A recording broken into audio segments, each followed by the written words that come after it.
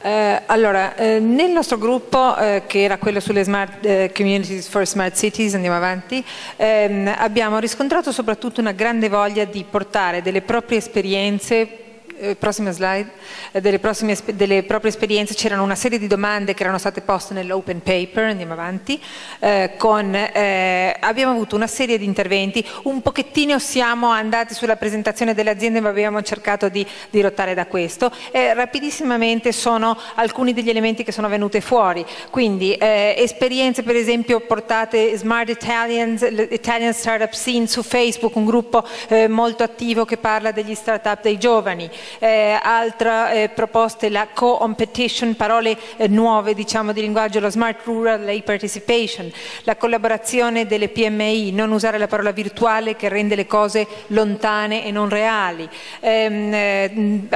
andare a guardare per esempio c'è una smart community diciamo invisibili, ingegneri, architetti molto molto attiva che vede come grandissima difficoltà la governance di tutto il sistema, ehm, eh, pannelli informativi che sono stati installati a Roma e in altri posti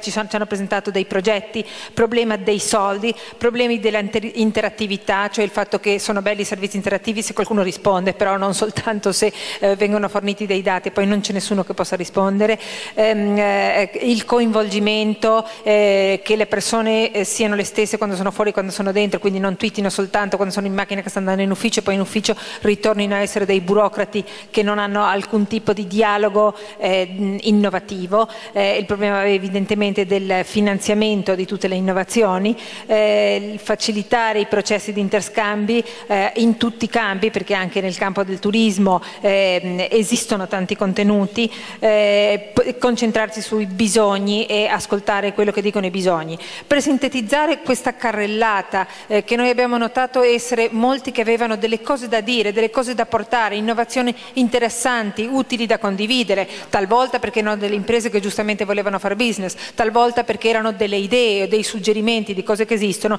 noi abbiamo trovato una forte necessità di comunicare, quindi di trovare un luogo, eh, questa volta non posso più usare virtuale, allora digitale, eh, informatico, dove potersi scambiare le cose con una governance che guidi questo processo ehm, in forma interattiva reale, cioè che eh, le persone che sono da una parte e dall'altra del tavolo possano rispondersi e comunicare davvero, evidentemente le forme poi sono da individuare fare, eh, usare le cose che esistono, cioè non andare in, a inventare nuovi network, nuovi sistemi perché ci sono già tanti e anzi semmai metterli a sistema in un'ottica di inclusione e di favorire la partecipazione anche delle persone che non sono abituate a questi metodi. Quindi eh, in un certo senso ehm, per noi è stato un riflesso del processo di Smart City che va ulteriormente sviluppato ed integrato, è un pezzo che eh, dobbiamo ancora eh, in qualche modo migliorare, di nuovo con l'aiuto eh, di tutti quelli che partecipano e vorranno partecipare, perché sicuramente è emersa la necessità